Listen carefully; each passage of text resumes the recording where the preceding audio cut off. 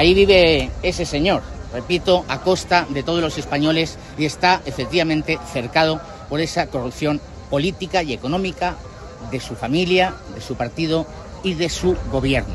Una corrupción que está llevando al descrédito absoluto de las instituciones. Y también Sánchez, como Maduro, está muy nervioso. Está absolutamente nervioso porque tiene que declarar ante el juez con cuántas sociedades cotizadas y reguladas por el Estado el señor Sánchez llamó para que su mujer tuviese una reunión con ellos. ¿Qué se cocía en esas reuniones en el Palacio de Moncloa que sabemos por otros testigos e investigados en la causa de Begoña Gómez se produjeron y estuvo el señor Sánchez presente? ¿Cómo reaccionaron esas sociedades cotizadas y reguladas ante la llamada del señor Sánchez?